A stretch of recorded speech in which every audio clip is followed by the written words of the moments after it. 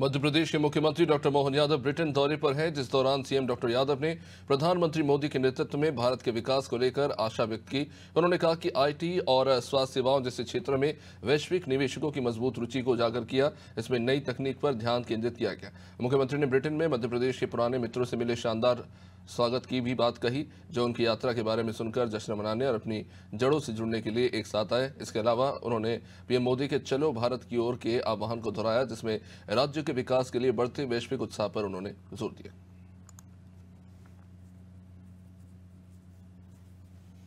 मुझे इस बात की प्रसन्नता है कि जब हम अपने देश से यूके में आए और अपने सभी निवेशकों से बात कर रहे हैं, उद्योगपतियों से बात कर रहे हैं तो सभी सेक्टर से समान रूप से मध्य प्रदेश और भारत के प्रति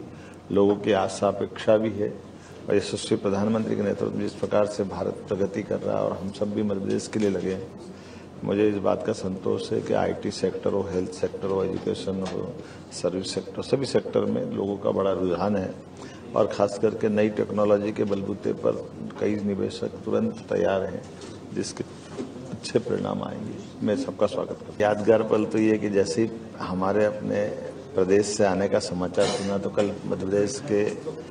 कई सारे मित्र जो कई साल पहले यहाँ आ गए थे, वो सब इकट्ठा होकर के आनंद के साथ न केवल इस कार्यक्रम में शामिल हुए, बल्कि बड़े पैमाने पर अपनी जड़ों से जुड़ने की तरफ़ भी आगे जा रहे हैं, जो जैसे माननीय प्रधानमंत्री जी ने कहा, चलो भारत की ओर।